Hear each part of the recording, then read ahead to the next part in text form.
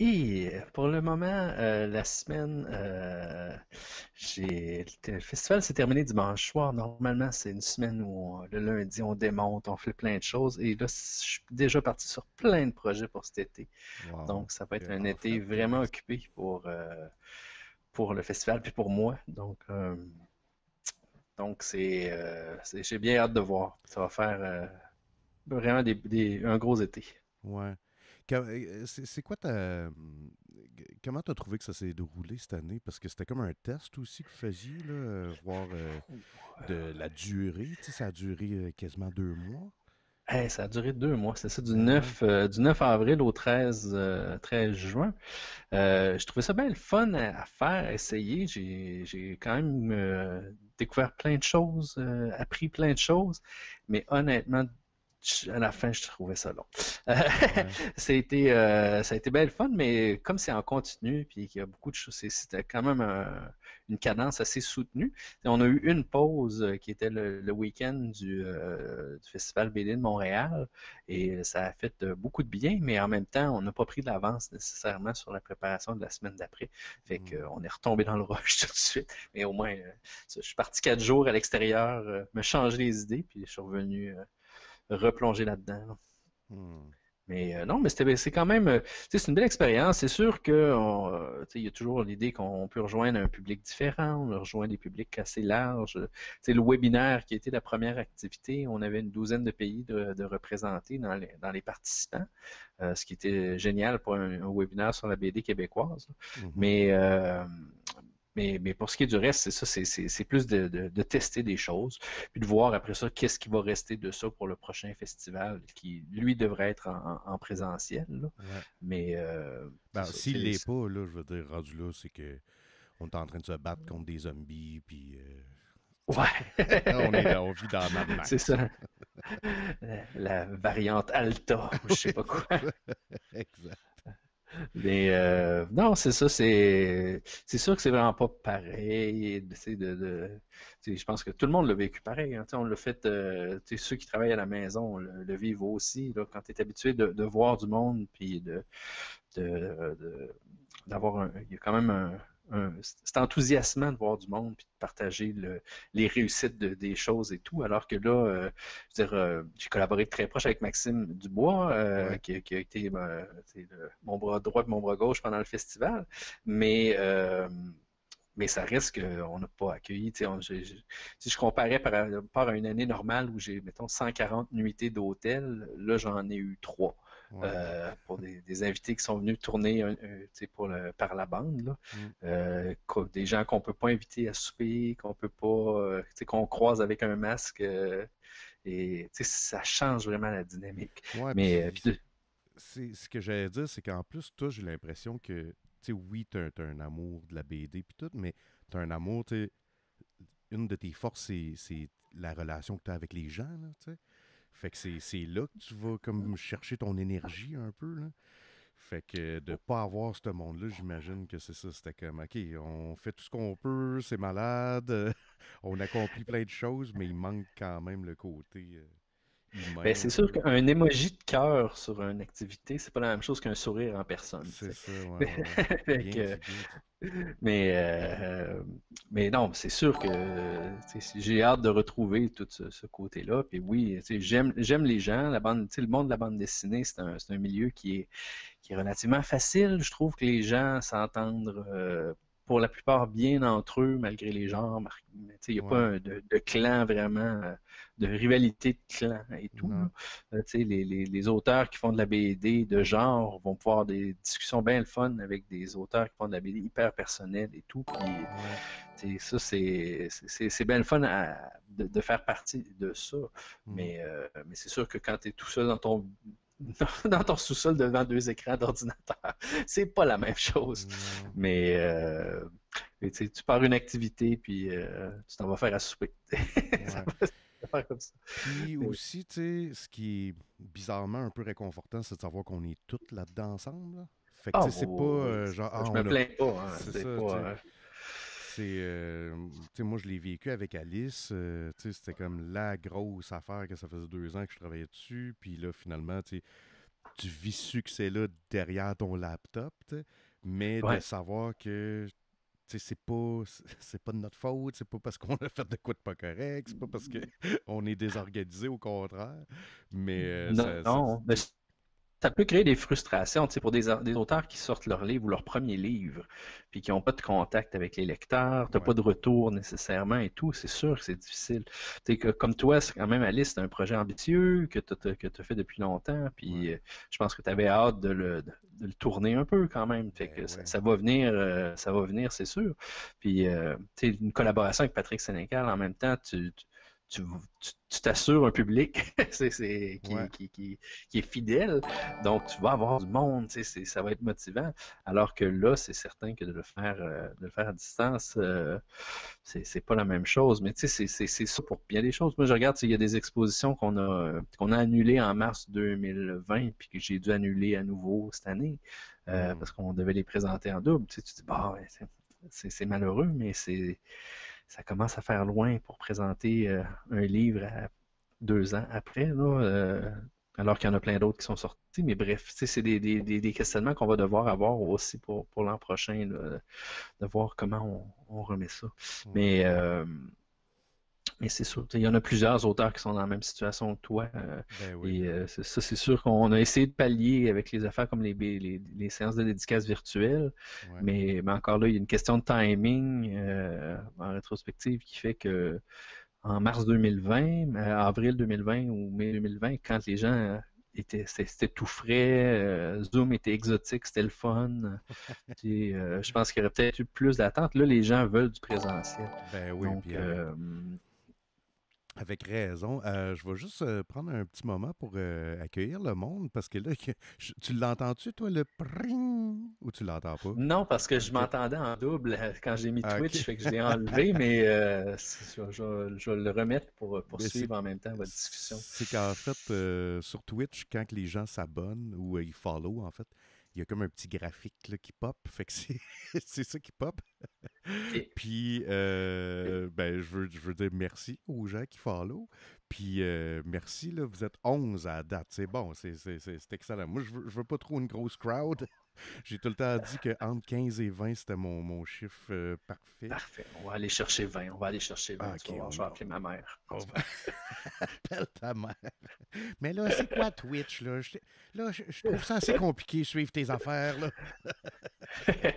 c'est toi qu'elle écoute peut-être, fait que fais attention. Euh, il y a beaucoup de gens qui, euh, qui font de la BD qui, qui écoutent le, channel. Je pense que la majorité, c'est des gens qui dessinent ou qui, euh, qui font de la BD. Fait qu'il y a Cab qui est avec nous autres. il y a Benoît Mercier des Mystérieux Étonnants. Que lui, je pense qu'un de ses highlights de carrière, c'était pendant le FQBD, c'est quand il avait interviewé Charlie Adler euh, c'était assez euh, extraordinaire. Puis en plus, c'était dans le pic de Walking Dead. Je pense que la série télé, si elle n'était pas sortie, elle allait sortir. Ah, c'était tout récent, c'est ça, c'était pas. Euh, puis c'est vraiment une. c'est un bel addon qu'on l'a eu. Je me rappelle, j'ai fait la traduction, je pense, pour cette entrevue-là avec, avec Benoît.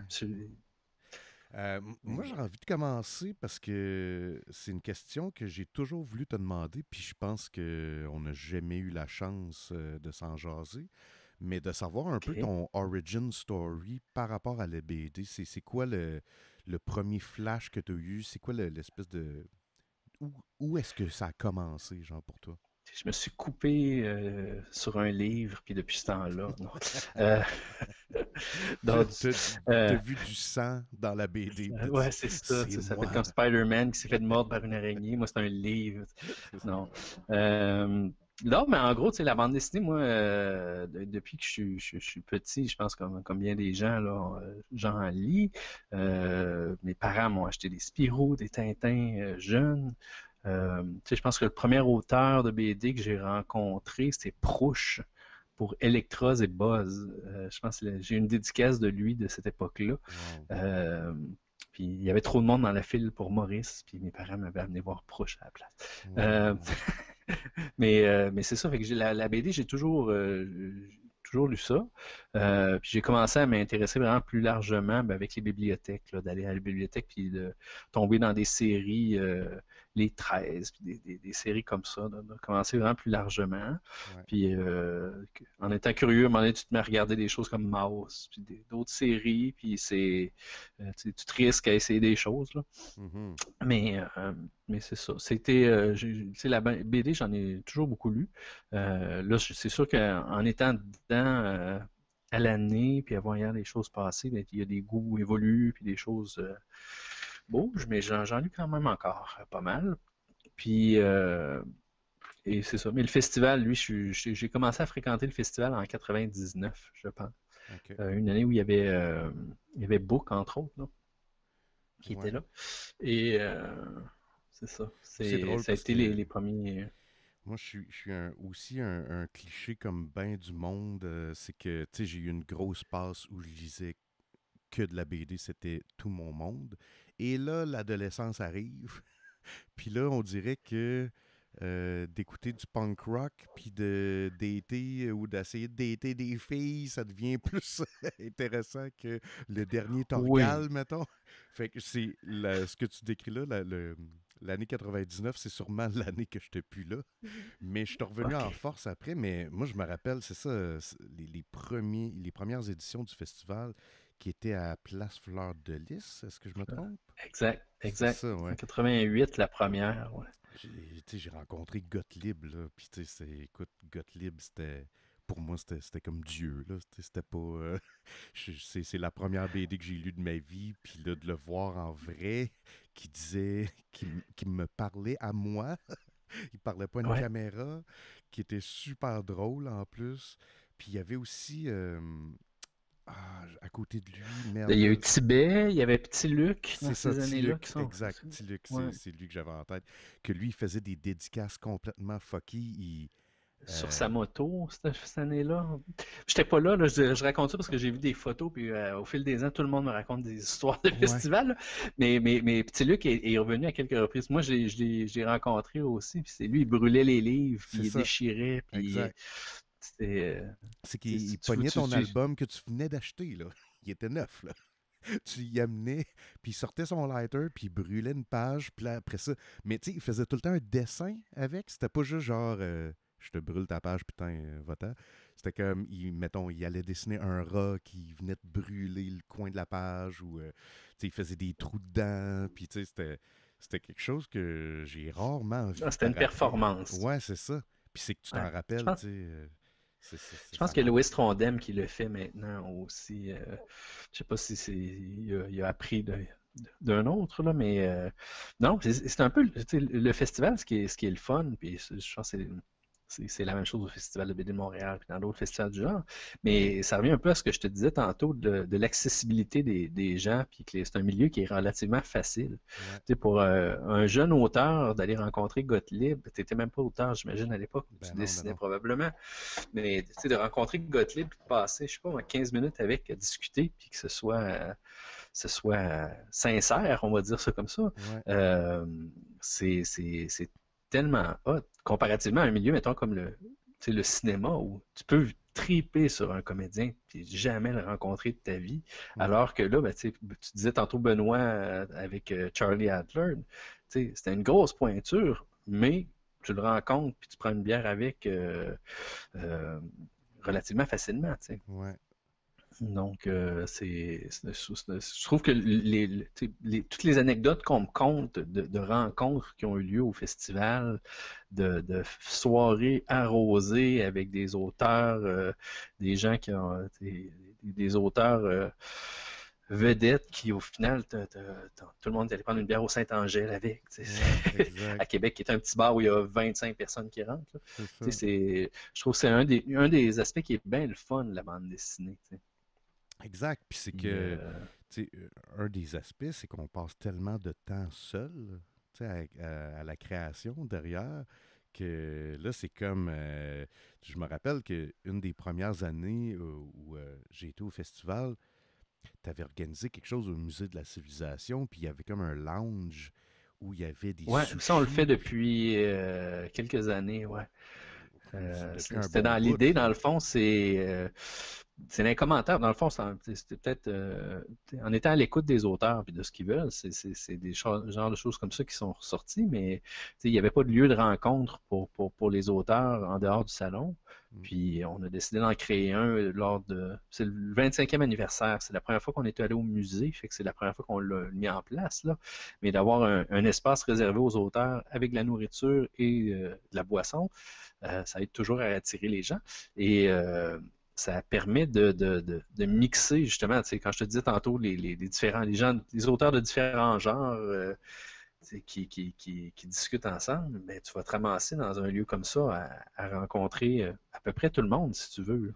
Euh, Puis c'est que je pense qu'il y a un autre aspect qu'on parle rarement, qui est la perception de la BD.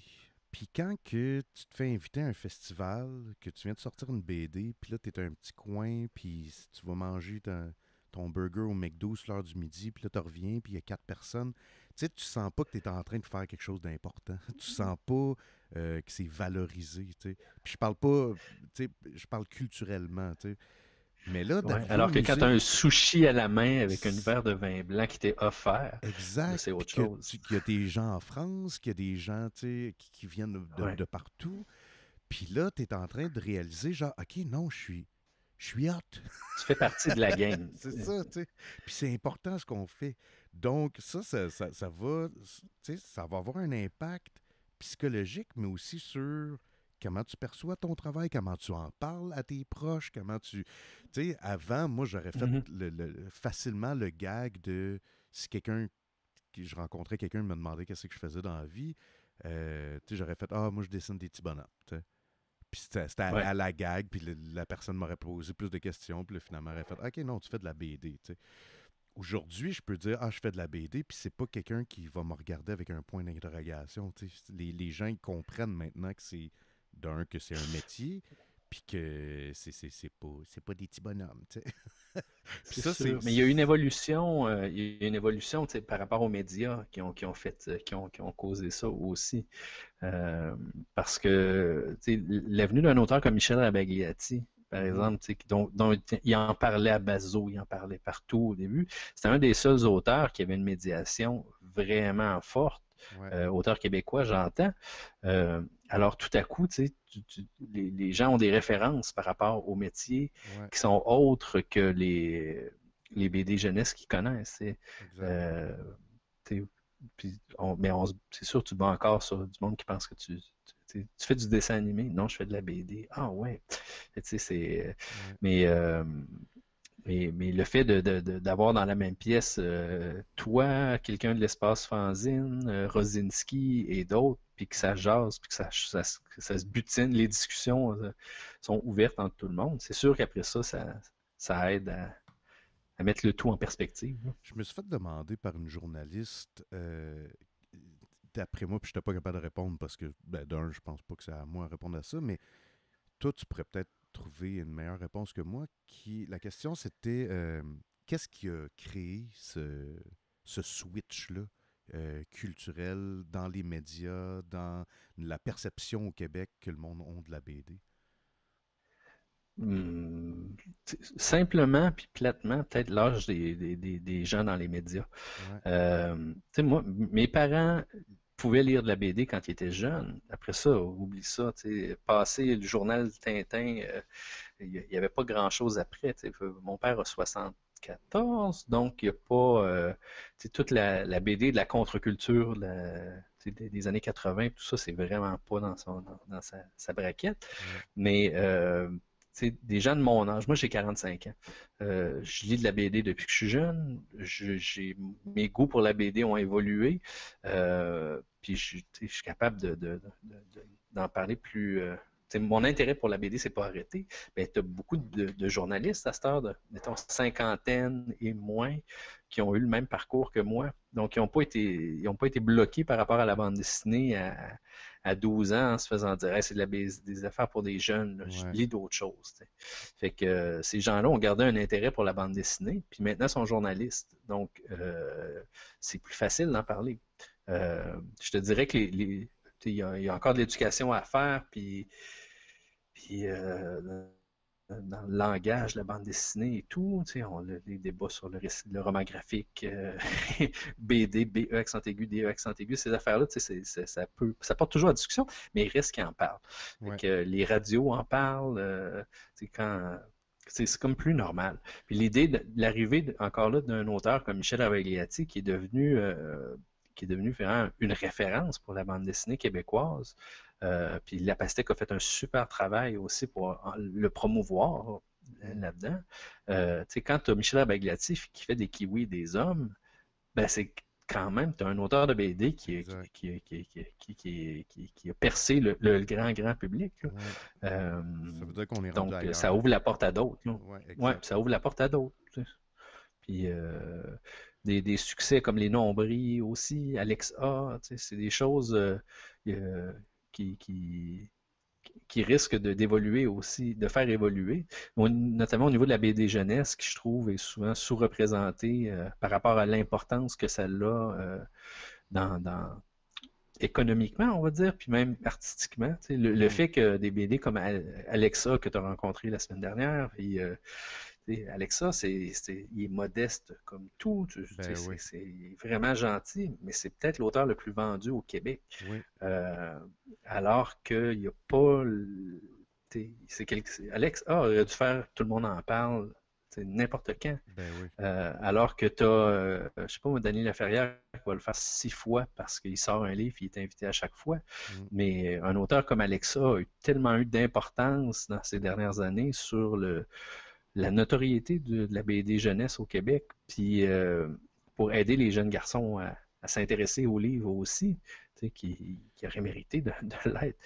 Le pire, c'est qu'Alex, je suis sûr qu'il serait super bon, tout le monde en parle, parce que c'est pas tout le monde qui est à l'aise non plus devant une caméra, mais Alex, il serait comme, justement, super Il est vraiment relax, chill, Super relax. Euh, je suis sûr qu'il sortirait deux, trois gags qui surprendraient tout le monde, sortis de nulle part. ouais, mais, mais c'est jeunesse, donc c'est moins sérieux, tu sais, c'est... Je sais pas, mais... Euh, ben ouais. ben là, là pas moi pas si tout le monde en parle. Pas moi non, non, non, non, non. Non, non, pas vrai. mais, mais je veux dire, Cab qui parle qu'elle aimerait bien passer à des kiwis et des hommes, là, moi c'est curieux Bégin, Cab. Vise, vise maintenant la, nouvelle euh, télé culinaire. je viens juste d'imaginer Cab à des kiwis et des hommes. Mais Cab, c'est quelque chose que les gens, les, les, gens qui la connaissent pas s'imaginent pas ça, mais c'est une des personnes les plus drôles que je connais. C'est impossible que je vois Cab et qu'elle sorte pas genre la joke qui me fait le plus rire de la soirée. Ça arrive tout le temps, tout le temps. Mais euh, fait que moi je suis sûr qu'elle serait avec, euh, je sais pas si c'est encore des kiwis des hommes. Je pense même plus que ça existe. C'est pour ça que je parle de curieux Bégin juste pour l'amener ailleurs. Parce qu'elle n'aura pas de réponse, c'est la demande pour y aller. Euh, c'est cool. Mais non, c'est ça. c'est... Oh, vas-y, vas-y, excuse, je voulais pas te couper. Non, vas-y, je te coupe. Euh, si vous avez des questions pour Thomas Louis, là, on est rendu à 16, on est quasiment à 20. C'est parfait, c'est parfait. Je pense que Thomas Louis, t'as dû euh, écrire à ta mère, dit Va voir Jake's Twitch. Non, non, non, pas tout. Mais, pas tout, c'est ton. Si vous avez des questions concernant euh, ben, Thomas Louis, mais le, le, festival en général. Euh, fait que toi, euh, là, je checkais, c'est la 34e édition. Tu es là depuis la combienième? Exact. Moi, j'ai commencé à m'impliquer dans le festival à la 18e, puis j'en suis directeur depuis la 19e. Hmm. Fait que c'est ma 15e cette année. C'est fou, ouais, ouais.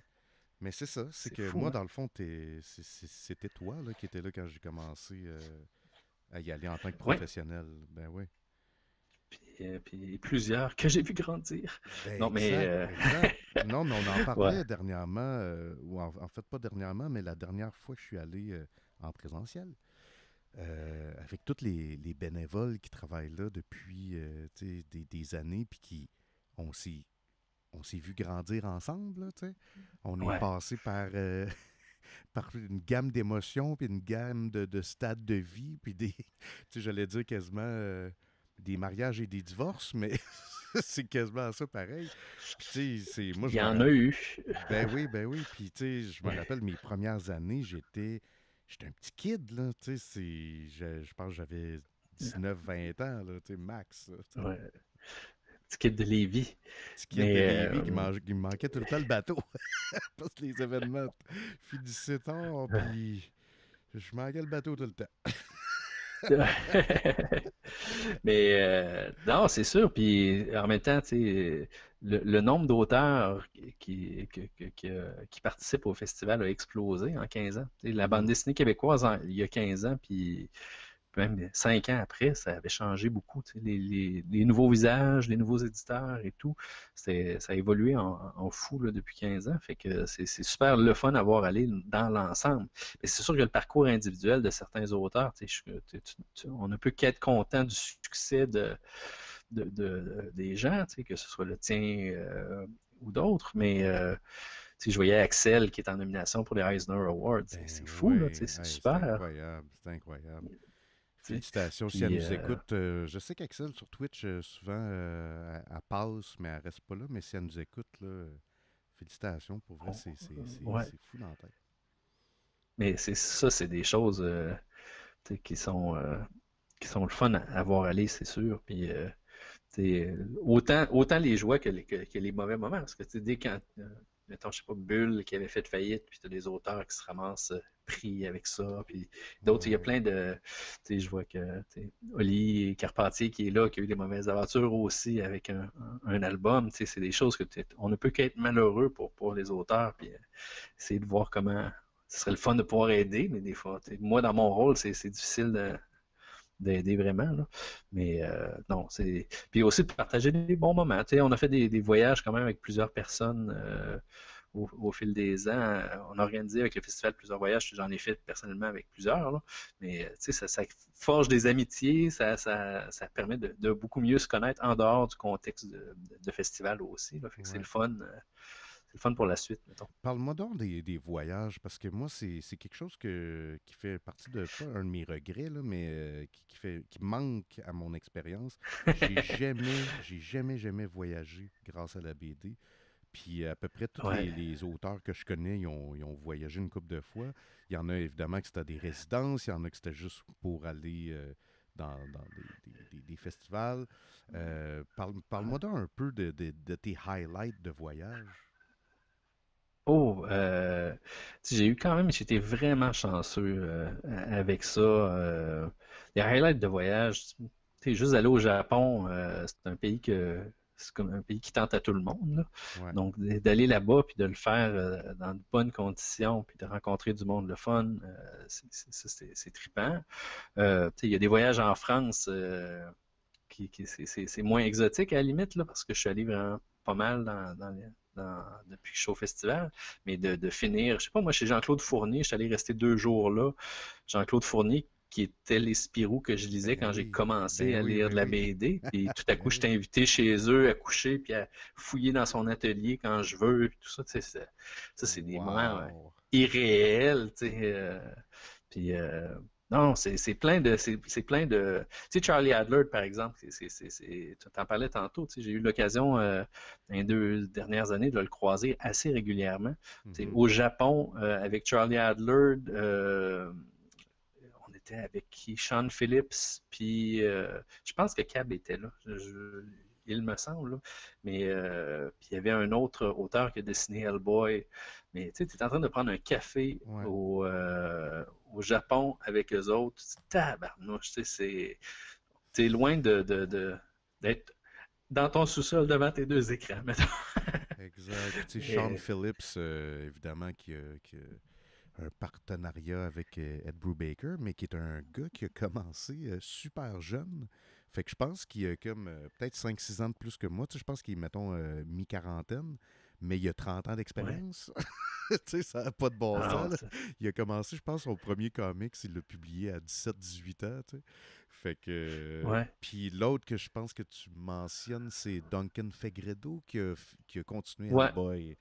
Euh, après exact, qui est un dessinateur incroyable, ça n'a pas de bon sens. Fou. Mais euh, c'est ça, eux, ils, collaborent beaucoup avec le Festival de Lakes en Angleterre. Euh, qui est à Kendall en Angleterre. Donc, euh, il, accompagnait les gens du, festival à, Tokyo pour, euh, pour deux événements. Mm-hmm. Puis, euh, Et c'est ça. Donc, effectivement, cave à précise, c'était pas un café, c'était des bières je bois du café le matin. Fait que le reste, c'est pas mal des bières quand on sort. Mais puis c'était des Anglais en plus, fait que c'était de la pinte. Ben mais mais c'est ça, donc c'est vraiment c'est ces rencontres-là, je pense, au-delà de ça, des choses irréelles, comme se ramasser croisé entre Emmanuel Macron et Angela Merkel à la foire du livre de Francfort, c'est des choses c'est quasiment une photo photoshopée, on dirait, là, mais non, non. Euh, j'étais pris entre les deux. Là. ces genres de choses-là font que c'est des souvenirs euh, de fou. Puis, euh, des, soirées, Lyon BD qui était en fin de semaine, fin de semaine dernière, puis avec Mathieu Diaz, qui, est devenu un, très, très bon ami. on a eu des, des, soupers hallucinants dans le cadre du festival. D'arriver dans un restaurant, puis le qui, nous recevait depuis quelques années euh, pour le festival, puis qui décide qu'on restait jamais pour le dessert. Fait que tout à coup, il va commencer par le dessert, puis on va finir par l'apéro. Fait qu'on est parti à l'envers avec un digestif, puis on a fini avec un apéro. Tu sais, c'est niaiseux, c'est loin de la BD, mais c'est de vivre des moments de même ben avec euh, exact. Ben, c'est qu'en fait, ces moments-là prennent tout leur sens à cause de la BD. Parce qu'évidemment, c'était juste un voyage pour le fun, on en vit plein d'anecdotes, mais là, tu fais comme, OK, c'est la BD qui me permet de vivre ces expériences. De, faire ça, Exact, c'est ça qui est, magnifique, je trouve. ah non, non, puis, comme je dis, j'ai eu l'occasion de voyager quand même pas mal, euh, puis de faire voyager pas mal de gens aussi, mais euh, l'année 2020 devait être l'année où euh, on avait le plus de projets internationaux.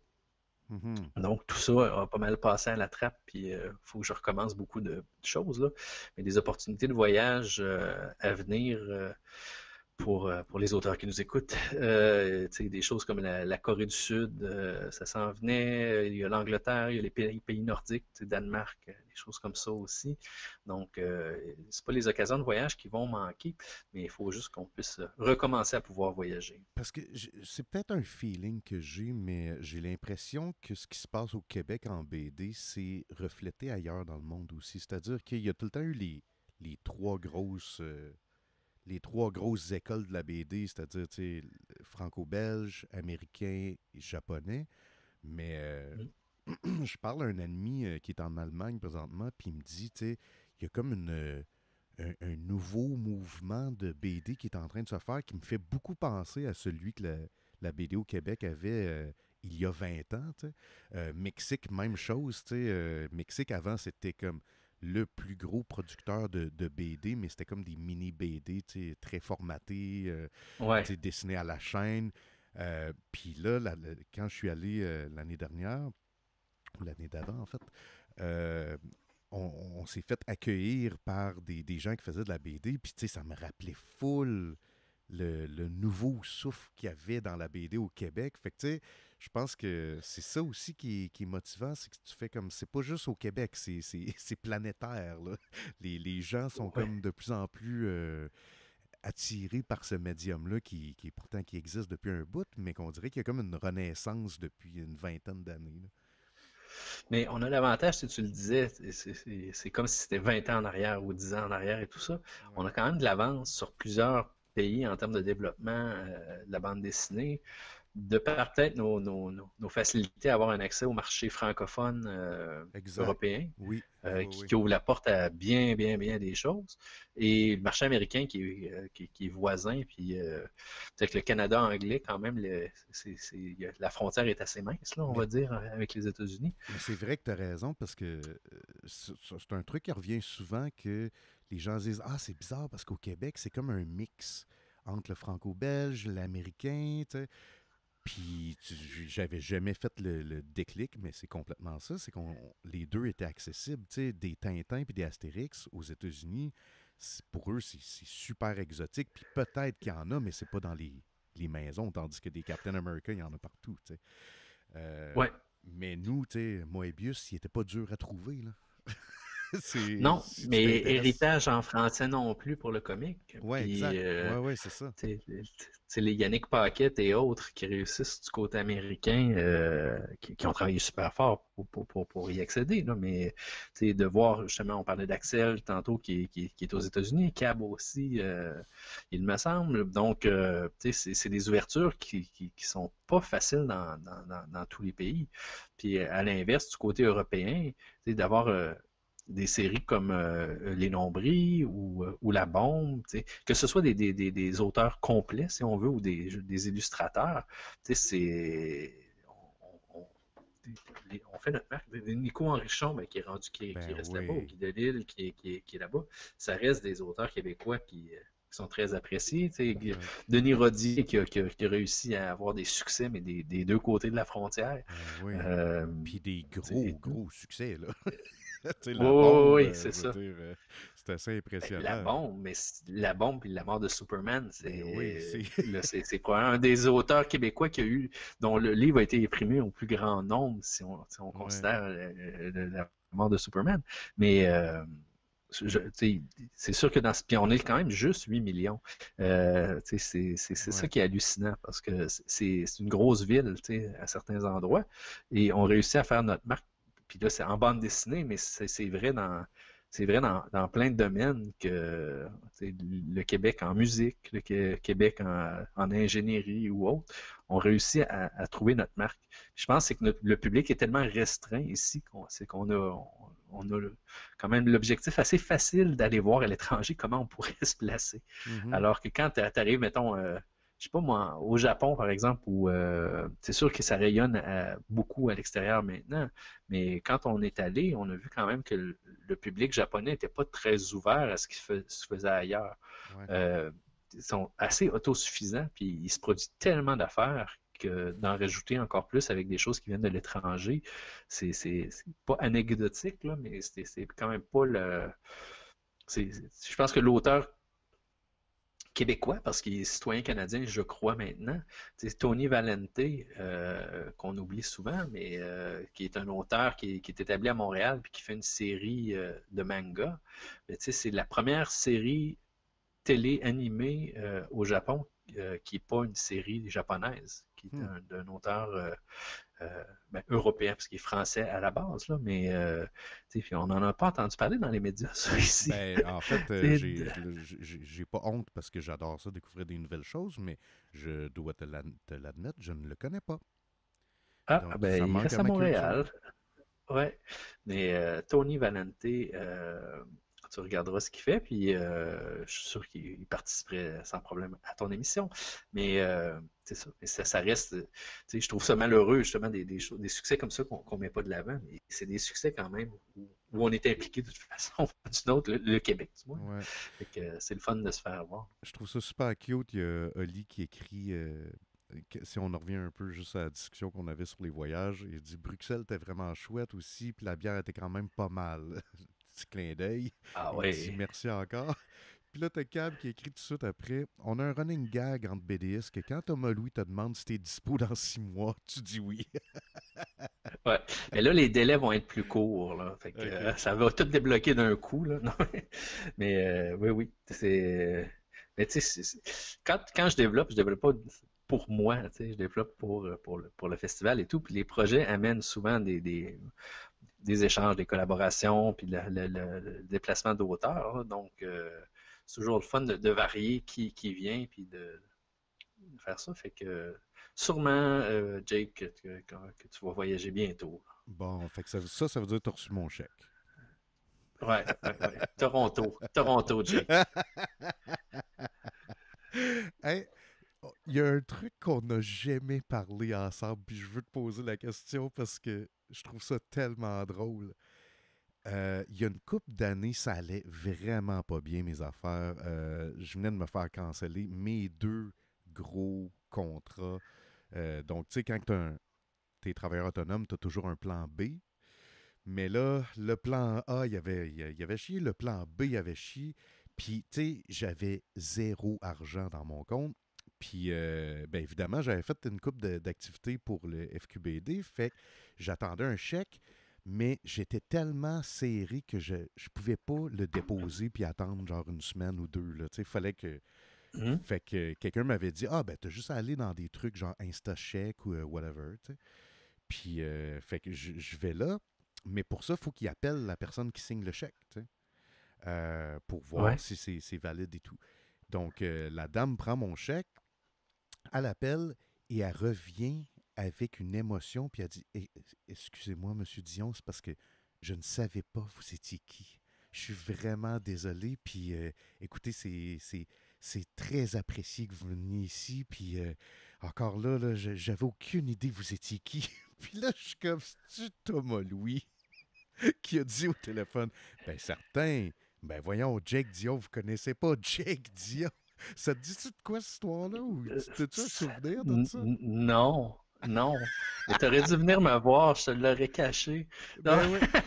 Mais c'est que, écoute, Mais- ça, ça doit faire six ans environ. Là. Fait que, tu ça fait un Ouais. bout, mais j'étais juste crampé parce que je me disais, qu'est-ce qu'il a pu y dire pour que. Puis après ça, là, à chaque fois qu'on se croisait ou que j'allais là, la madame a blushé en me regardant, là, tu comme si quelqu'un y avait Ah dit, ouais. ben oui, c'était une grosse vedette internationale qui vient cacher un chèque de 120 pièces. Euh, désolé, Jake, j'aurais aimé ça te raconter une belle histoire avec ça, mais je m'en souviens pas. Ben non, ben Mais, pas euh, mais la seule chose que je te dis, c'est Jake, si, jamais t'es serré comme ça puis que je te dois un chèque, appelle-moi, je vais régler ça. Ah, non. De toute façon, Mais tu on fait plus de chèque. Ben oui, c'est ça en plus. Euh, ben non, mais c'est, une mauvaise passe, ça arrive à tout le monde, mais moi ça va très bien. Ah, là. Euh, ça- ça- je me suis très bien remis de ça, puis euh, là, c'est... tout, tout va, tout va à merveille. Oui, non, parfait, parfait. Et, non, mais c'est ça. Vous êtes dans des, un métier aussi où les rentrées d'argent sont irrégulières, puis Oui. dépendent de bien des choses. là. Tu sais, je parlais tantôt des faillites d'éditeurs puis tout- et tout ça. Tu sais, c'est- ça, ça, bien des facteurs. Là, donc, euh, moi, tu sais, je te dirais que depuis, euh, depuis euh, quelques années, quand même, on, essaie de, de, bonifier les cachets quand on peut, ou de trouver de plus en plus de, de- de- de projets sur lesquels on peut euh, impliquer les auteurs. Tu sais, Cab, ouais. euh, qui est à l'écoute, en a fait quelques-uns, Mhm. mais euh, c'est pas rare que je, je- je- j'envoie des courriels pour savoir si, euh, si les gens sont disponibles pour euh, réaliser une planche ou faire un projet X. Je te dirais que c'est, de plus en plus euh, vrai. là. Cet été, comme je te disais, c'est un été euh, particulièrement chargé, mais euh, c'est beaucoup axé sur, euh, sur la région de Québec. Donc, euh, les auteurs de la région de Québec sont, sont parfois sursollicités pour, Ben pour des projets. Mais moi, ce que je trouve extraordinaire, c'est qu'on est de plus en plus à faire de la BD au Québec, en tout cas de, de Ouais. ma perception, et j'ai l'impression que tout le monde euh, vit un succès à travers ça. Évidemment, à, échelle différente, mais euh, c'est quelque chose que je trouve fantastique. C'est comme, il y en a de plus en plus, mais on dirait que les gens en vendent de plus en plus aussi. Oui, mais je pense que c'est peut-être par rapport à, à- à ce que tu vois passer, mais c'est sûr qu'il y a certains auteurs qui, euh, qui, qui l'ont plus, euh, qui l'ont plus tough quand même. Là. ouais. Euh, moi j'ai en tête, par exemple, je sais pas moi, des auteurs comme euh, des auteurs de la vieille garde, Serge Gaboury, Mario Malouin, tout ça, là, qui ont ouvert plein de portes, là, qui ont, qui ont travaillé super fort. Là. Rencontrent peut-être moins de, de- de succès aujourd'hui. Tu sais, que- quelqu'un comme Gaboury, par exemple, c'est- il, il produit beaucoup en magazine et tout, mais il trime vraiment fort. là. On en entend presque pas parler. Euh, même chose pour, pour Mario Malouin. Mais euh, c'est ça, je pense qu'il y a beaucoup, effectivement, il y a beaucoup d'auteurs qui, euh, qui, qui travaillent présentement, mais, euh, mais c'est pas tous qui ont, qui ont, qui ont la, qui ont, qui ont la même reconnaissance. Puis il y a, il y a la notion de, de- d'être capable de se vendre aussi, euh, ou d'avoir un éditeur qui, qui le fait, qui le fait pour toi. Euh, c'est ça, c'est pas, euh, c'est pas toujours évident pour tous, mais c'est sûr que c'est une période où il y a peut-être plus d'opportunités pour tout le monde.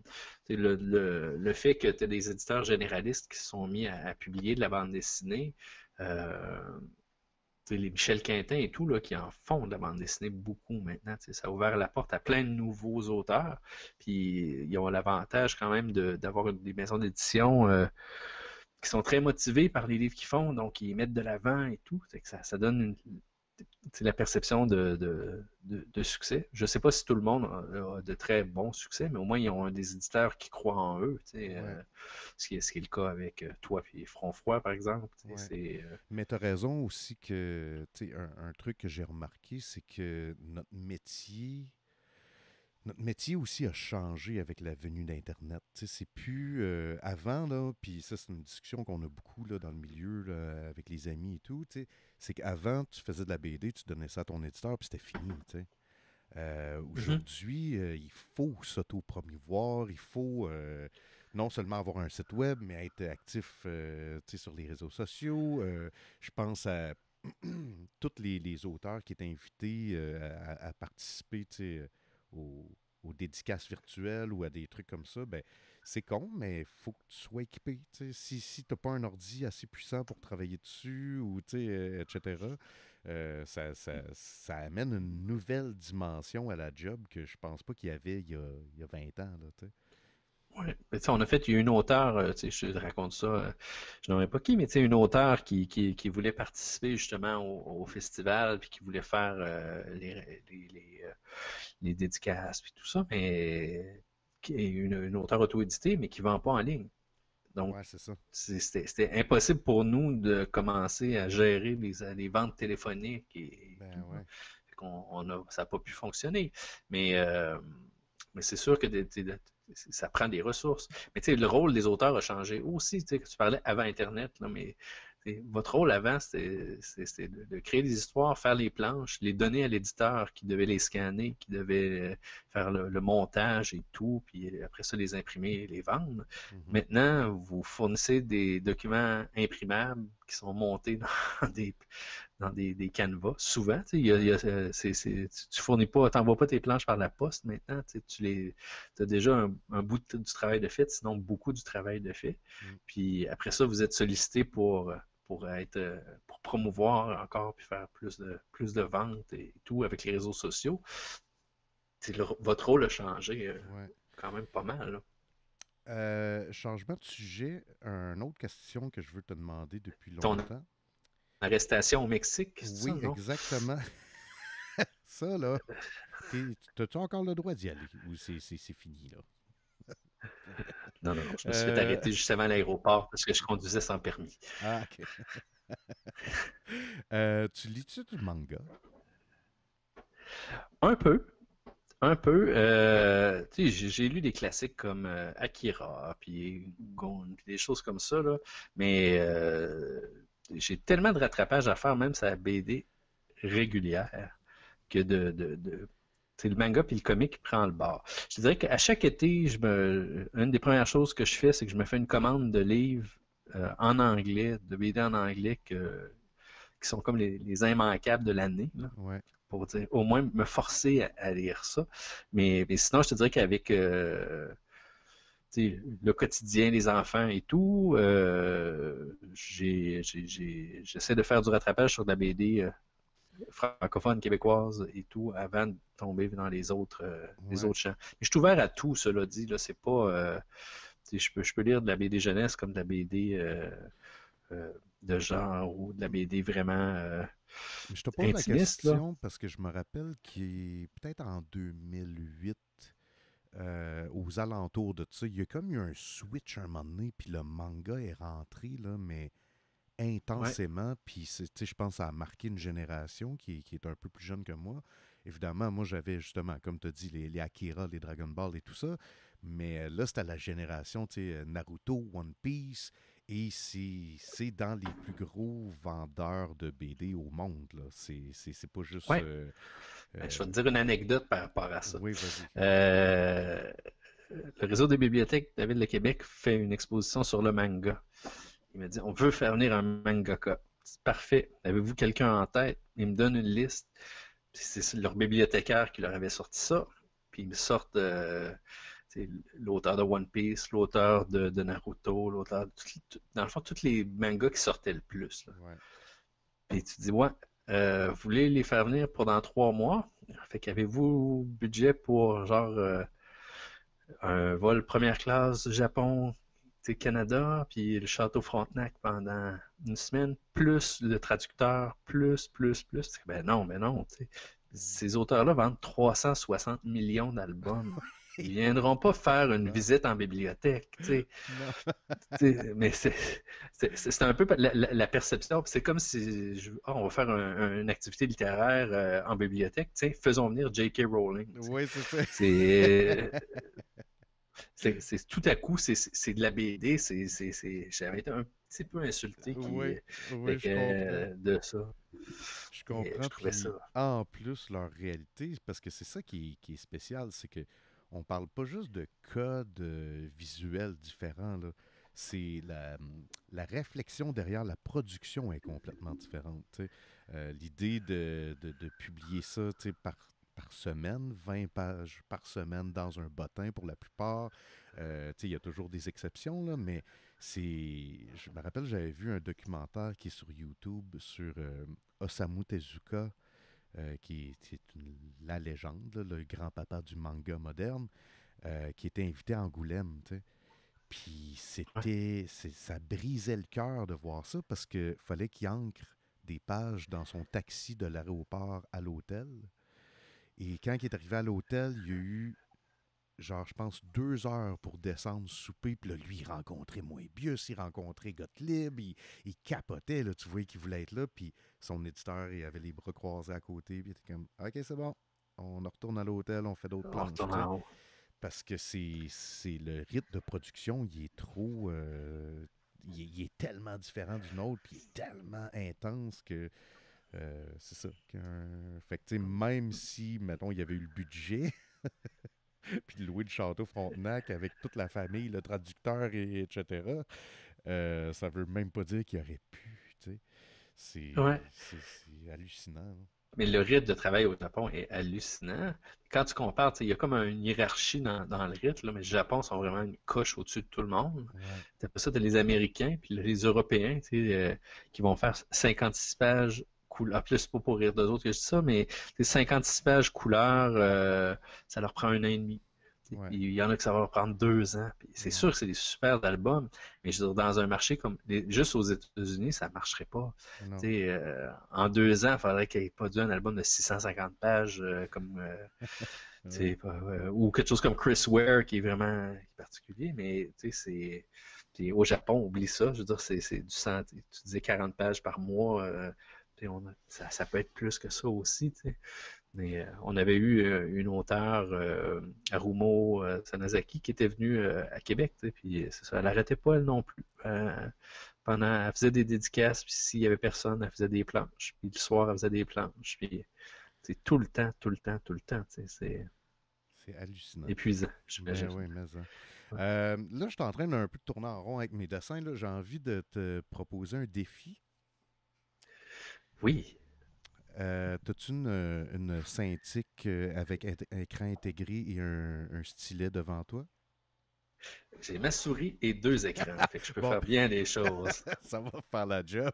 Mais ça me tente qu'on décide ensemble. En fait, c'est une activité que moi je fais depuis que je suis tout jeune, mais qui fait souvent partie de l'impro BD, qui est hmm? tu fais un truc, genre un barbeau ou une coupe de ligne, puis je vais faire un dessin avec. Fait que là, il faut juste que je t'envoie le lien. Ouais. Parce que j'ai oublié de faire ça tantôt. Euh... Tu me l'envoies dans, dans, Messenger, j'imagine? Ouais, là, attends. faut juste que je fasse mon petit lien. OK. Mais euh, non, c'est ça, c'est.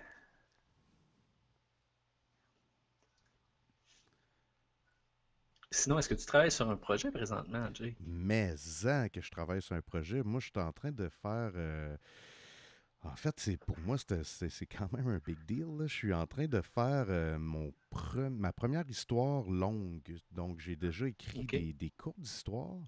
Euh, mais c'est Glenna qui m'ont approché pendant que j'étais en train de finir Alice. Puis on dit, on, peu importe sur quoi tu travailles après, ça nous intéresse. Fait que là, j'ai fait Wow, OK, merci.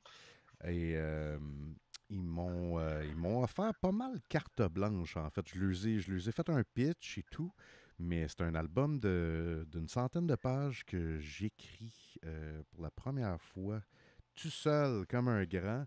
Fait que. Fantastique ou. Euh? On parle. T'es-tu familier avec le terme horreur cosmique? Bah, je peux m'imaginer, je pense, c'est quoi, mais. Euh, ben, c'est qu'en fait, l'horreur. À la Alien ou quelque chose comme ça. Euh, Alien, ça peut s'en rapprocher. Horreur cosmique, souvent, on pense que ça se passe dans l'espace. C'est pas vraiment ça que ça veut dire. C'est que, en fait, c'est H.P. Euh, Lovecraft qui a popularisé ce terme-là. là, je t'ai envoyé le lien par Messenger, donc ça va être correct. Mais c'est l'idée qu'avant, dans la littérature, aussitôt qu'on parlait d'horreur, ben, il y avait le bien et le mal. Puis H.P. Lovecraft, lui, ce qui a, ce qui a amené, c'est l'idée qu'il y a quelque chose de plus vieux et de plus ancien que... Les, les, anciens. Exact. Qui se fout un peu du bien et du mal. Il se fout un peu des humains. Donc, c'est pas nécessairement une créature qui a quatre pattes puis des dents qui se promène. C'est plus une espèce d'entité cosmique qui peut communiquer avec nous d'une manière inconsciente ou whatever. C'est, dans le fond, la vraie horreur vient du, de l'abysse, du vide. Euh, elle vient de. Fait que c'est, souvent très euh, existentialiste. Euh, Puis j'ai décidé de setter mon histoire au Québec, en campagne, dans les années 70. Fait que c'est un peu ça le, le point de départ. Ça s'appelle Chanson Noire, puis je suis, quand même bien avancé. Il me reste euh, peut-être une dizaine de planches. Puis après ça, je pense que je vais, me, monter un petit trailer. Je vais, je, vais, annoncer ça comme du monde. Puis tu vas le faire en noir et blanc ou euh, couleur? Couleur, couleur. Puis euh, en fait, je le fais au complet avec le programme que j'utilisais tantôt, donc sur le iPad. Qui est Procreate, non? Moi, quand j'ai fait Alice, euh, c'était la première fois que je faisais euh, de la BD euh, de manière traditionnelle. je faisais, je faisais ça sur du vrai papier avec de l'encre et tout, de l'aquarelle. Comme dans le bon vieux temps. Exact. Puis quand j'ai fait ça, je me suis dit, plus jamais je vais revenir en arrière.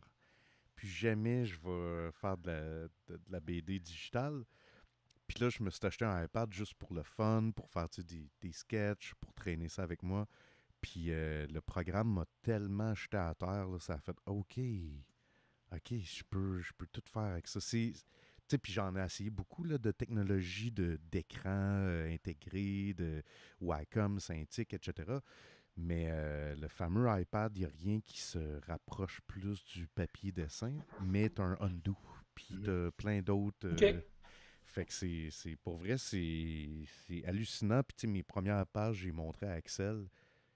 Puis elle était comme, OK, ça, c'est tes tests que tu as fait à l'aquarelle du papier. J'étais comme, non, non, c'est juste l'iPad. Elle était, était bluffée. Là. Elle était comme, voyons donc, je reviens pas. Fait que là, ben, là clairement, tu es en train de me dessiner moi. Euh, non, ça, c'est un personnage que je traîne depuis le cégep. Euh, pour l'anecdote, euh, j'ai étudié en art visuel au cégep. Puis euh, j'avais dessiné ce petit cochon-là, puis c'était devenu la mascotte euh, de, toutes les parties de 5 à 7. Puis je faisais des affiches pour les parties. On a fait un concours qui s'appelait le concours port. Puis euh, les premiers gagnants, ça a été Oukoumé, pour vous dire. Wow. C'est un beau cochon en or. Fait que c'était ce cochon-là qui était mieux dessiné parce que je le dessinais à main. Mais en gros, c'était à peu près ça. Fait que c'était je te lance avec, avec ça. OK, my God. Euh, ben là, OK, pour les gens qui viennent d'arriver, Thomas Louis vient de faire ça à la souris en passant. Fait que ça prend quand même du skill parce que je pense que moi, j'aurais même pas été capable. OK, fait que euh, là, faut que je fasse de quoi avec ça? Hmm. Puis là, euh, parle-moi donc un peu du concept du personnage. Ça va peut-être m'inspirer. Là. Ah, c'était vraiment un cochon que j'adaptais. J'ai fait des cochons bavarois, j'ai fait des cochons punk, j'ai fait des cochons hein, de tous les genres. C'était ce personnage-là que j'adaptais euh, un peu aux thématiques. Euh. ça a duré peut-être un an qu'on l'a utilisé. Il était affiché dans la ville. Euh, non, c'est pas. c'est drôle. C'est très drôle. J'ai l'impression que je suis comme privilégié de savoir ça. Là. J'ai Ah, pas l'impression que c'est quelque chose qui, qui se promène beaucoup. T'es le là. premier à qui j'en parle. Ouais. non. Mais, euh, mais sais, je dessine, euh, je dessine pour le plaisir. J'ai, pas de, de- j'ai pas d'ambition de faire de la bande dessinée, mais j'aime bien, euh, j'aime bien dessiner. Mais euh, Ouais, ça t'a jamais travailler tenté. avec du monde. Ça t'a jamais tenté de faire Ah, une BD? j'ai suivi euh, au Cégep un cours en bande dessinée. euh, j'ai participé même au premier concours Glénat Québec euh, pour le fun en me disant tiens, je vais essayer. Puis je pense que c'est la dernière fois que j'ai fait ça. Mais euh, que j'étais allé en, j'étais allé en voyage, puis il y avait la, la machine à fanzine où on faisait des petits fanzines, puis imprimés en 10 copies, puis on les distribuait. J'en ai fait 5, je pense, en- là-bas. Mais euh, personne ne me connaissait, fait que c'est plus facile que de le faire dans le cadre d'un festival BD ici où tu sais, Ouais. je me compare plus un peu, mettons. Ben mais ouais. euh, non, mais j'ai pas, c'est pas un objectif ou une volonté que j'ai d'en faire, mais j'ai, tu sais, je suis capable d'avoir du fun à dessiner. Euh, Parce que euh, dans la dernière année, ben en fait, un, un petit peu avant ça, j'ai vraiment essayé d'élargir mes horizons en termes de, de style de BD puis de m'intéresser à plus de choses variées. Puis euh, un truc qui est venu à mon attention que j'ai trouvé hallucinant, est-ce que tu as déjà entendu le nom euh, S. Craig Zahler? Non. Donc, c'est normal parce qu'il fait pas de la BD, mais en fait, euh, c'est que ça, c'est un, un réalisateur de films qui a, qui a fait euh, un paquet de bons films là, en plus. Là. Il a fait euh, Bone Tomahawk avec Kurt Russell. Dernièrement, il a fait Drag the Concrete avec Vince Vaughn, puis un, un- un paquet d'acteurs super hot. Mel Gibson est là-dedans. Puis cette année, euh, à cause de la COVID, c'est d'habitude c'est un gars qui écrit des scénarios, puis là il pensait à peut-être écrire un scénario pour une BD, puis il s'est dit non, fuck it, je la fais moi-même. Sauf que l'affaire, c'est que c'est pas un, un dessinateur, euh, il n'y a, pas de formation de dessinateur. Fait que euh, il y a- c'est juste que lui, c'est un méga fan de BD, donc il comprend les codes, euh, il comprend le, le- le- le- le- processus de tourner la page, de, comment découper tes cases, etc. Puis il a sorti une BD et c'est hallucinant. Puis ce qui, ce qui est fou, c'est que même si le dessin peut sembler euh, euh, un peu amateur ou euh, naïf, c'est que quand l'histoire est bonne, puis quand l'information est claire, même si le char il est lettre, même si le, le personnage de profil euh, il est lettre, si tu comprends que le char s'en va dans la ruelle puis que le personnage il check par la fenêtre, ça, ça fonctionne au bout. Puis euh, Ouais. ça ça m'a vraiment inspiré. Puis tu sais, je l'ai- partagé sur euh, Goodreads en disant ça, c'est à tous mes amis scénaristes. Là. Euh, tu sais, n'attendez pas. Parce que une des frustrations pour un scénariste en BD, c'est que t'attends après le dessinateur.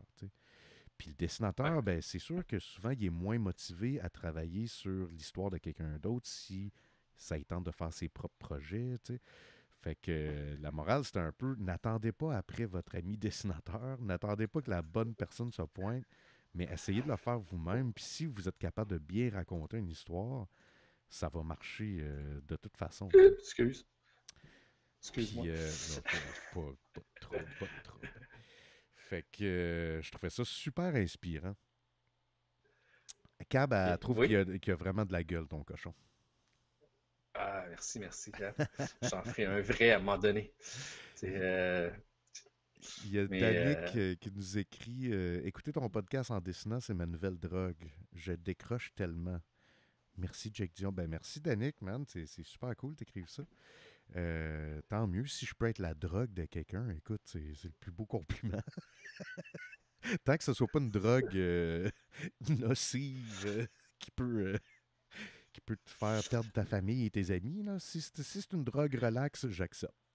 Puis, moi, je peux, je peux me permettre parce que c'est pas Oui. moi, mais je veux dire, euh, tu sais, euh, Patreon est là aussi, donc euh, si jamais c'est ton fournisseur de bonheur, n'hésite pas, n'hésite pas. Ben oui, euh, voilà, ben oui. D'ailleurs, euh, je- j'en profite pour remercier tout le temps mes, mes patrons pendant mes Twitch parce que c'est assez extraordinaire euh, de- d'avoir cette plateforme-là puis que des gens puissent euh, encourager des artistes qui aiment.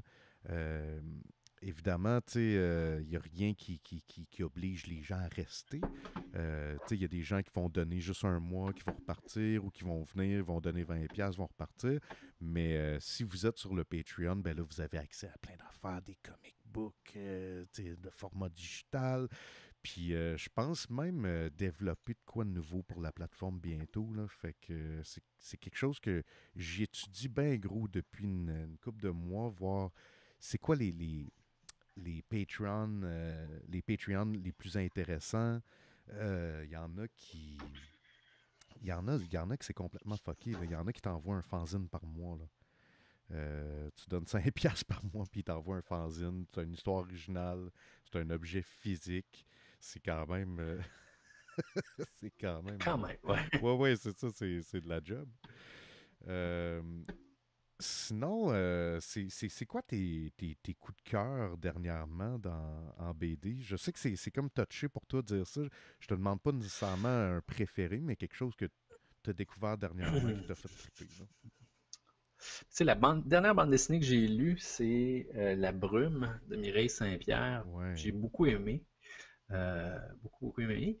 Mais euh, honnêtement, dans c'est bizarre à dire, mais je vais me remettre à lire la BD euh, depuis quelques mois quand même. J'étais plus concentré sur d'autres choses que de la lecture. fait que je, me. J'ai malheureusement pas de lecture récente dans, les trois mois, peut-être à part Mireille Saint-Pierre. vu que c'est pas moi qui fais les entrevues, qui fais les rencontres, je me ramasse à, accumuler, puis une fois que le festival est fini, je, je clenche un peu. Mais euh, c'est sûr qu'un livre comme. Euh, oui, vas-y. Je, à un moment donné, j'aimerais ça inviter Raymond Poirier, mais euh, lui, là, ça n'a pas de bon sens comment il doit en lire. En plus, il y a comme un club de lecture avec la vie en BD. C'est assez hallucinant la culture que ce gars-là a. Là. C'est, fou dans la tête. Je, pense que je dors plus que lui. Ouais. Ça aussi. Mais euh, non, c'est clair. Mais euh, non, et on a tous les deux des enfants en bas âge, fait que c'est pas. Euh, ça, ça, ça, joue. Mais moi, je, moi, je lis par plaisir plus que pour le travail, on va dire ça comme ça. Euh, Raymond doit lire beaucoup plus aussi pour le travail comparativement à moi, parce que je lui donne des mandats de, faire des animations, donc il doit s'informer. Euh, mais euh, mais c'est ça. Mais c'est, j'ai une pile, j'ai une pile de, livres en attente, dont le tien, Alice, que, je dois lire, mais ben, que je dois lire, que je veux lire. C'est pas, pas la même chose, justement.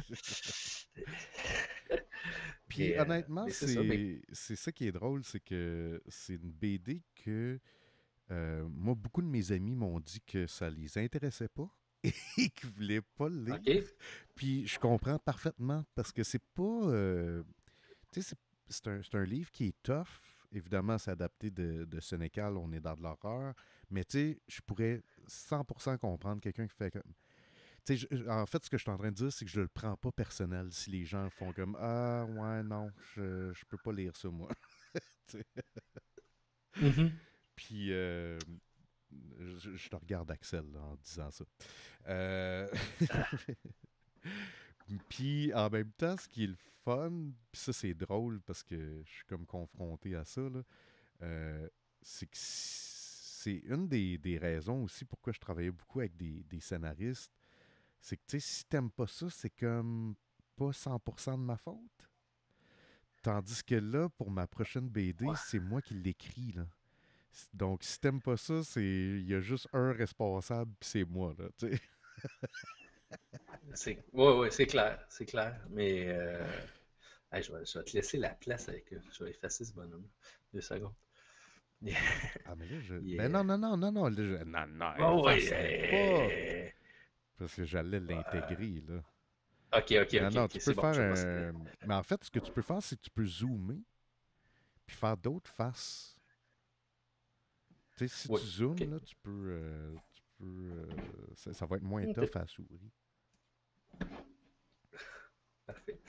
Euh, mais, mais c'est ça, il y a des livres quand même que je lis ponctuellement, un livre comme Wimbledon Green, je sais pas si tu as déjà lu ce livre-là, euh, de Seth, euh, c'est The Greatest Comic Book Collector in the World. Je lis ça, j'ai l'impression de reconnaître du monde des fois, fait que je trouve ça le fun. Ben, c'est fou que tu me parles de ça parce que la BD que je te mentionnais juste avant du cinéaste qui a fait sa BD, il disait que ça, c'était comme une de ses inspirations premières. Puis euh, ça m'intéresse full. Je, ne sais même pas c'est à propos de quoi. Ça parle de quoi? C'est euh, une bande dessinée assez décousue sur un personnage qui est Wimbledon Green, qui est un espèce de pas un aristocrate, mais c'est un, personnage euh, riche, un peu hautain, mais qui est euh, un, des grands collectionneurs de, BD, qui aurait la plus grosse collection de BD, de comic book, qui est capable de reconnaître l'imprimerie en regardant le positionnement des broches sur un comic. Genre tout ça. Mais, mais c'est tout le, mystère entourant ce, personnage-là. Puis, euh, tous les autres collectionneurs qui sont jaloux de lui, qui se seraient fait voler par lui, qui ont perdu des encans par lui et tout. C'est quand tu fais le parallèle avec le, milieu des, collectionneurs de BD qu'on accueille dans, le festival euh, régulièrement, puis tu as tu sais qu'il y en a un qui a mordu la main de l'autre parce qu'il voulait pas qu'il touche au livre, qu'il y en a un autre qui a envoyé une mise en demeure disant de pas aller dans le même marché au plus que lui. Des affaires de même, tu dis ça se peut, ces affaires-là. Le pire, c'est que tu as nommé deux affaires, puis je me rappelle de une. Il y a, une histoire d'une de. Bataille. Oui. mais tu, tu, dois, c'est pas la morsure de la main, mais c'est la mise en demeure qui découle de la, de, la bataille que, que tu avais vue. Euh, qui était. Euh, parce que ça, ça donne que la personne qui a reçu la mise en demeure, c'est mon voisin, euh, qui, qui, est gentil comme tout, puis, mais il s'était fait poussé parce qu'il avait déplacé le sac de quelqu'un d'autre dans la file. Puis là, ça, avait fini, je pense que c'était Gauthier Langevin, puis Annie, peut-être toi, qui ont, séparé la, la, bataille qui s'en venait. Mais ce monsieur-là, après ça, a envoyé des mises en demeure à deux, trois personnes demandant réparation des fonds. Euh, je pense que c'était comme 3000 dollars de, de, dédommagement. Puis. Euh, d'interdire d'être à plus de 100 mètres de lui, notamment dans les marchés aux puces et tout ça. C'était oh, n'importe quoi, là. petit conseil, si vous recevez une mise en demeure, c'est pas c'est un document quand même euh, important, mais ça veut pas dire il peut, personne peut te demander de l'argent comme si c'était une amende. Ouais, ouais, ouais. Euh, mais ça fait peur, par exemple, quand t'en as jamais reçu, surtout, là, tu reçois ça, t'es comme là, attends, je, m'en vais-tu en prison? Ouais, mais une mise en demeure, ça s'écrit comme un courriel. Fait que c'est. Ça a juste l'air plus officiel. Euh, tu veux quoi comme personnage, Jake? Euh, j'aimerais que tu me dessines. Attends un peu. Euh, ben, parce que là, ce que j'essaie de reproduire, en fait, la scène, c'est nos fameuses bières après une soirée de festival. Fait que là, tu sais, moi, tu me connais, je me promène tout le temps avec mon sketchbook. Fait que là, c'est comme le cochon qui est en train de dessiner. Fait que fais-moi donc une version, euh, juste la face, là, euh, cochon, tu sais, version cochon d'un auteur que tu as en tête, puis on va essayer de deviner c'est qui. C'est trop tough comme demande? hein? C'est-tu trop tough comme demande? C'est un peu tough. Non, je pense que je peux, euh, je peux, je peux, je peux faire. Euh, tu vois, c'est ça prend un auteur qui a des caractéristiques, une caractéristique, fait que c'est pas. Euh, c'est ça. C'est pas. Non, non, je, je, vais te faire ça. Tu me diras bien si tu reconnais. Mais c'est ça. Non, fait que des anecdotes de, de collectionneurs et tout ça, je trouve ça drôle d'avoir un livre où c'est vraiment ça qui est, qui est mis de l'avant. Quand, quand, au final, j'en ai côtoyé qui ont la même, la même maladie si on veut. Ben ouais. Mais c'est ça, euh, ça doit être dans tes anecdotes quand même les plus trash. Y a-tu d'autres anecdotes que tu fais comme voyons donc, je, je pensais jamais vivre ça, ça se peut pas. Euh, tu veux dire dans, dans, dans ce genre d'anecdotes-là, euh, c'est des choses, sont pas des affaires nécessairement drôles, mais que tu disais, voyons donc. Tu sais, une anecdote qui, ouais, qui, qui, quelqu'un qui a un fil de dédicace s'arrange pour avoir le maximum de dédicaces d'un auteur, même si tu as des, des restrictions, mettons, je pense à Rosinski, par exemple. Euh, euh, c'est une dédicace par personne. On tenait des listes de, pour être sûr que les gens ne les aient pas, euh, les aient pas tous à répétition et tout. Là. Puis tu as quand même quelqu'un qui se ramasse en avoir, en, en avoir 10. Fait que tu te rends compte après qu'il y a plein d'amis qui en achètent des gens dans les fils. Ah, c'est fou. Donc, c'est. il y en a. Euh, c'est dur à comprendre pour moi parce que je suis tellement pas. Euh, tu sais, ça fait pas partie de mon trip du tout. Là. même si je suis un collectionneur de BD, j'ai beaucoup de BD, mais on dirait que j'aime mieux euh, avoir un 5 minutes de jaser avec un auteur qu'avoir une pile de BD signée par ce même auteur-là. Je ne catch pas, on dirait. Mais, mais tu tu l'as vécu toi aussi, euh, parce que tu disais que tu avais fréquenté le festival. Moi, j'ai commencé au festival. Euh, j'ai commencé au festival comme, comme festivalier, puis ce qu'il y avait dans ce temps-là, c'était si tu voulais rencontrer un auteur, c'était les dédicaces. C'était pas mal ça. que c'était la façon de faire. Mais euh, c'est une des raisons pour lesquelles je me suis impliqué dans le festival. C'est les discussions que j'ai eues avec les auteurs en festival euh, par la suite. Euh, quand quand, quand j'étais je sais pas moi, festival, puis tu as des auteurs qui se plaignent du festival, tu dis, Colin, je, vais essayer de m'impliquer et de donner un peu de temps pour, euh, pour, voir, parce que je pense que je peux peut-être faire quelque chose. Mais euh, c'est venu de ça. Puis c'est vrai que les, les, les je connais des, des, des gens euh, qui, qui, qui, qui, logent au même hôtel que les, que les, auteurs pour pouvoir déjeuner avec eux le matin. Euh, puis c'est vraiment parce que c'est le moment qu'ils trouvent, c'est la discussion. C'est pas de faire la file pendant deux heures pour avoir euh, un petit 10 secondes, euh, pas, pas, 10 secondes, mais mettons 5 minutes avec un auteur qui finit par te demander ton nom pour te, dire, pour mettre amicalement à. Mm-hmm. tu, passes une demi-heure, une heure à jaser, puis quand tu as fini la dédicace, ben il t'attend pour, pour aller te promener, aller prendre un café ailleurs et tout, tu sais, c'est créer des relations encore là. Mais, euh, moi, c'est ça. Quand je me suis impliqué pour le festival, c'est vraiment suite à une année euh, désastreuse du festival, puis tous les auteurs se plaignaient, fait que je trouvais ça un peu malheureux, tu sais. Hmm. Depuis, euh, tu euh, y a-tu des choses que tu n'as pas fait encore, que tu as envie de faire? Genre des, des, Pas des nouveaux défis, mais de faire comme moi. Ça, là, ça fait depuis le début je veux faire ça, puis on l'a jamais fait parce que, tu sais, vous, vous n'avez fait tellement. Puis, je pense juste à tous les événements au Musée de la Civilisation. tu sais, ça a été big des années, là. C'était vraiment, euh, l'effet rockstar, là, tu sais. Euh, autant dans, l'installation que dans les, activités même qu'il y avait. Après ça, dans tous les invités que vous avez eus, vous avez eu les plus grandes légendes. Y a-tu des trucs que tu fais comme OK, ça, là, euh, un jour, je veux le faire? Euh, dans les projets qu'on a, comme là, la, lutte BD, là, ce serait fun de la faire en vrai. Ah ouais. ça, serait, ça, serait, vraiment drôle. Mais euh, des.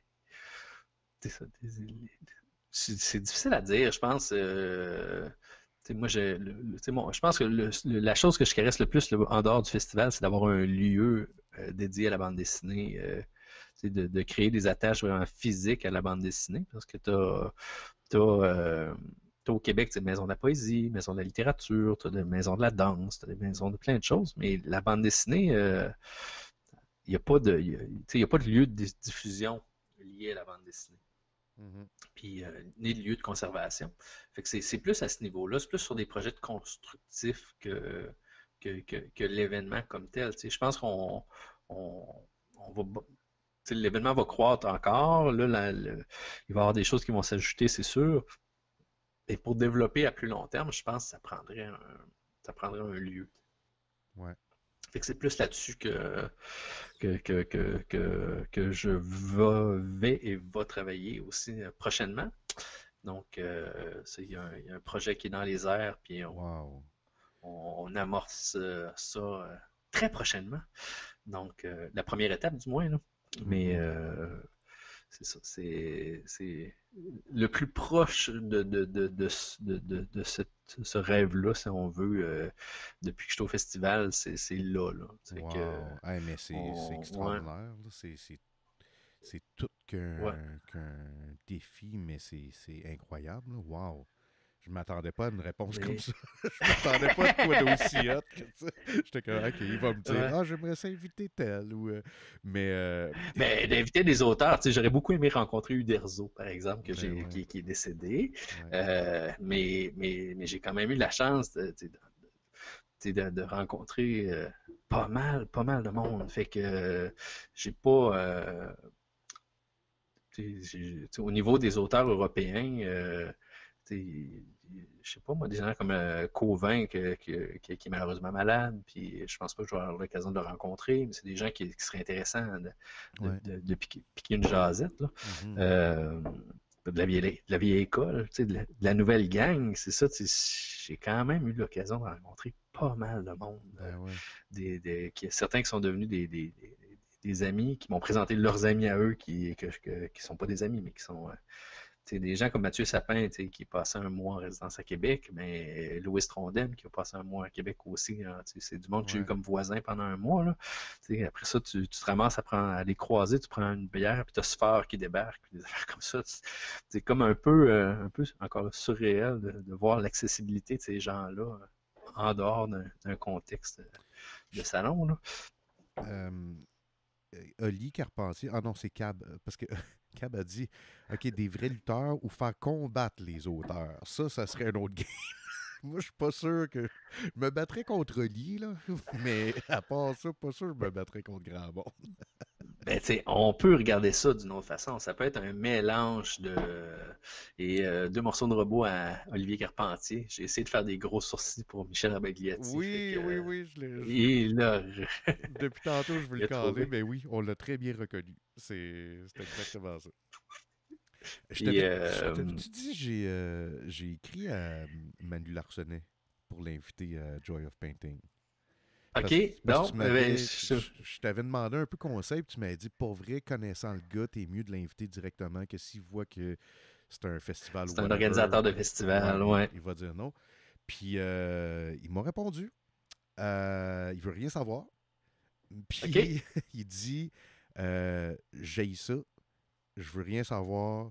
Et il dit quand je me fais inviter, je dis tout le temps des conneries, puis ça m'intéresse plus. Je suis, je, ça me tente d'être un ermite, puis d'arrêter de, de dire des conneries. puis j'ai fait Ah ben, merci pour ta réponse. non, non, c'est. Je te dirais que j'ai essayé plusieurs fois de le faire venir. Euh, il est venu au Québec deux fois. Euh, puis je lui disais, ben, n'hésite pas si tu as besoin d'aide ou quelque chose comme ça. J'ai jamais eu de nouvelles. Mais euh, c'est ça. C'est pas. Ça aurait été un auteur que j'aurais aimé, mais en même temps, il y a des auteurs comme ça que en bout de ligne, tu te rends compte que ça serait peut-être plus de troubles que d'autres choses. À moins d'avoir une super belle surprise, là. mais c'est quelqu'un qui veut pas de temps, ça vaut non. pas la peine. Ben exact. exact. Il y a tellement de monde que... qui, qui, serait honoré d'y aller que, tu sais, rendu là, invite le monde qui vont triper à la place de, de te battre contre ouais.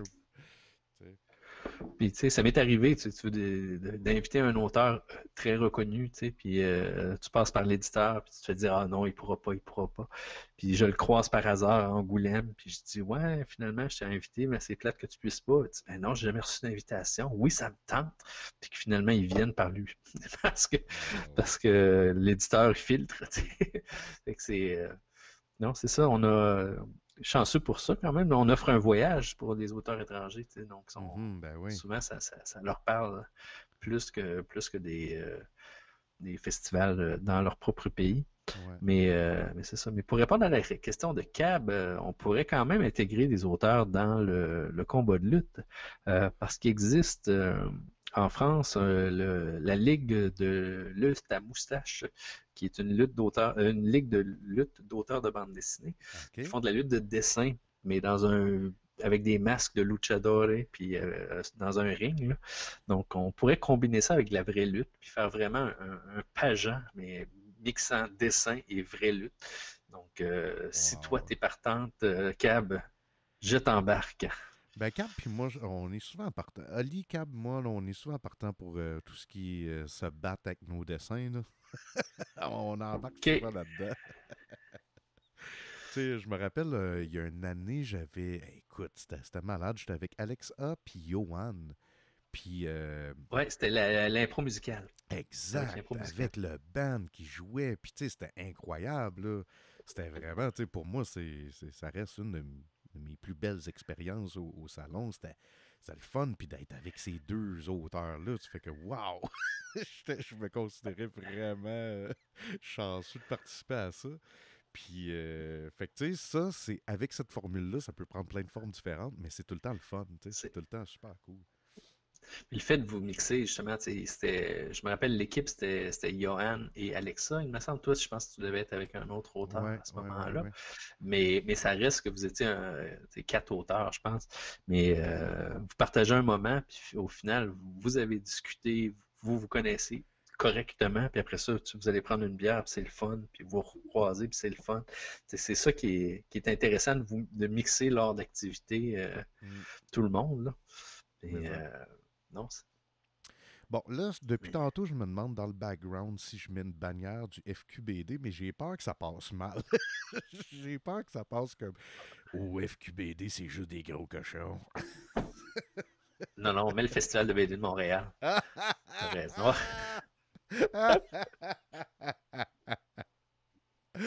Euh, est-ce qu'il y a une, euh, une rivalité entre Québec et Montréal dans le, le milieu des festivals de BD? Euh, c'est pas que j'ai une hésitation, j'essaie de te répondre correctement. Pas vraiment. C'est sûr qu'on a nos, propres concepts, nos propres affaires, mais euh, avec la Joanne euh, Desrochers présentement, puis Virginie, puis Martin, tout ça, on s'entend super bien, on discute euh, en masse, on se partage beaucoup d'informations. Fait que c'est pas. Euh, c'est une, saine compétition, on va dire ça comme ça. Je pense qu'on essaie d'en faire le plus, mais on, apprend à collaborer aussi de plus en plus ensemble. Fait que ça, ça, ça va n'apporter que du positif. Là.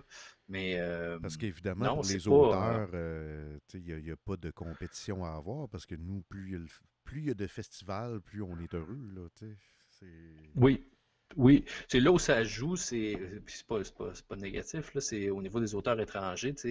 Euh, on est à l'affût de la même actualité, donc des fois on, vise les mêmes, mais on est assez intelligent quand même pour s'en parler. Puis euh, à Angoulême avec Joanne, on a passé quand même pas mal de temps ensemble à, échanger, à donner des cues aussi pour dire euh, lui, il pourrait peut-être, lui ça l'intéresse, je, je, te présente à, lui? les échanges se font quand même quand même bien. Là. Fait que c'est pas. Euh... même, euh, t'es, souvent présent là, au FBDM. Euh, oui, mais quand je peux, j'y vais. Euh, quand je peux, j'y vais, mais ça, c'est, une question familiale qui fait que ça, ça... Le dernier week-end de mai, mon père nous book toujours un voyage de pêche avec mes deux sœurs. C'est niaiseux, mais il y a des années où ben, c'est là où c'est jamais. Là, ben fait que des fois, j'étais avec ma famille plus qu'au festival, mais, euh, mais je m'intéresse quand même aux activités et puis je regarde les choses. Euh, comme pour le festival en ligne, j'ai regardé un peu de, un peu de choses quand même. Euh, puis c'est ça, mais c'est pas, c'est pas faute de vouloir, c'est juste que ça. Des fois, ça donne moins bien. Là. Mais comme je te dis, on est en contact très régulièrement avec Joanne, on s'échange des, des, des, des cues, puis on se parle, puis on, si on a des interrogations et tout, on, se les pose. Là, c'est pas. Euh, il n'y a pas une jalousie euh, maladive qui fait qu'on essaye à, tout prix de, se battre. Au contraire, on, on s'entraide plus que d'autres choses. Euh, là. on approche la fin. Si les gens ont une dernière question, c'est le temps. en même temps, là, Thomas Louis, je ne sais pas si tu es capable de faire ça, mais il faudrait que tu signes parce que c'est une collaboration. Il faut, qu'on signe tous les deux. C'est. Euh, écoute, euh, c'est notre première collaboration, je pense. Hein? On a-tu déjà dessiné ensemble? je pense pas. Non, je pense pas.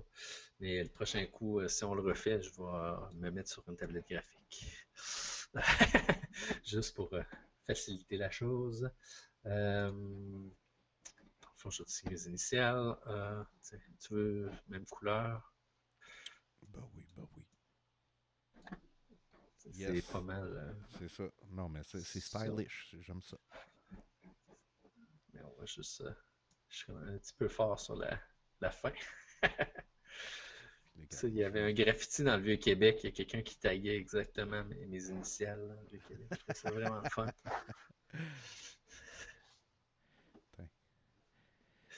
Puis, Jack, pourquoi toi tu signes un caractère chinois? Ah l'autre jour?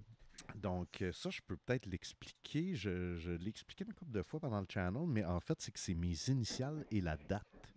Donc, euh, ce que tu vois en haut, c'est un J et un D fusionnés ensemble. Ouais. Et euh, juste en dessous, c'est 2 et 1.